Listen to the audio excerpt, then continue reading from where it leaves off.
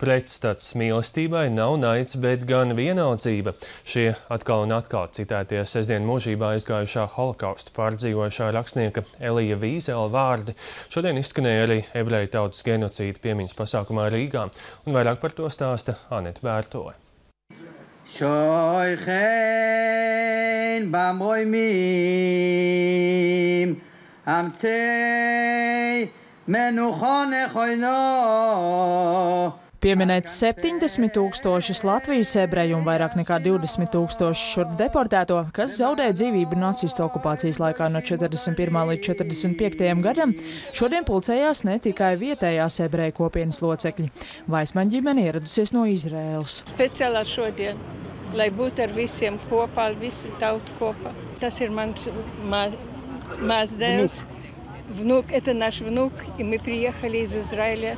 Mēs atbraucām no Izraēlas, lai pieminētu tos, kas toreiz gāja bojā, jo mēs paši izglābāmies, aizbēgām 41. gadā. Tomēr ne visa ģimene, tikai mēs ar māsu, pārējie gāja bojā un guļ rumbulus mežā. Un visdziļākā cieņa šiem cilvēkiem, kuri glāba. Mēs viņus pazinām, labi pazinām lipki. Holokausta laika varoņus, tos, kas riskējot paši ar savu dzīvību kopumā izglāba vairākus simtus ebreju, šodien pieminēja arī valsts augstākās amatpersonas uzsverot, holokausts ir nevien ebreju tautas, bet visas Latvijas kopēja traģēdija. Šādi izskatījās 1941. gada 4. jūlijā nodedzinātā horālā sinagoga, kuras modelis līdz ar vēl daudzu citu Latvijas sinagogu modeļiem tagad atrodami Rīgas geto un holokausta muzejā. Tajā stāsta, ugunsdzēsējiem toreiz bija uzdots uzmanīt, lai uguns nepārmetas uz blakus ēkām, bet aizliegts palīdzēt cilvēkiem, kas sadega dzīvi. Šeit mēs redzējām vācu, vācu ebreju, kuri bija bikernieku mēžā pirms nošaušanas, nogalināšanas. Kā ir uzņemtas šīs fotogrāfijas? Vai jūs to zināt? Vācu oficieri, vācu soldāti, eh, karavīri to uzņēma un kaut kā palika. Muzeja veidotāji stāsta, sešos tā pastāvēšanas gados to apmeklējuši aptuveni 70 tūkstoši cilvēku, no tiem tikai trešā daļa vietējie.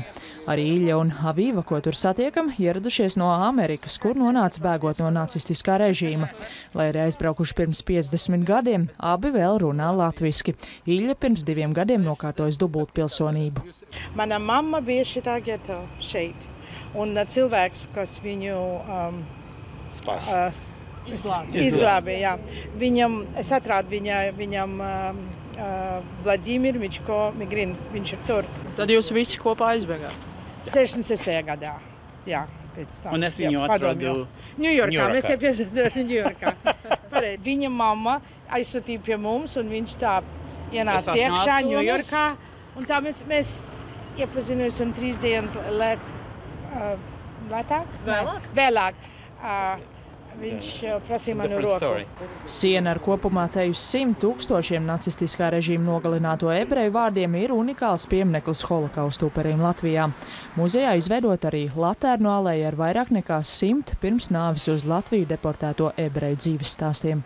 Anita Bēdelmārs Jurgensons, Latvijas televīzija.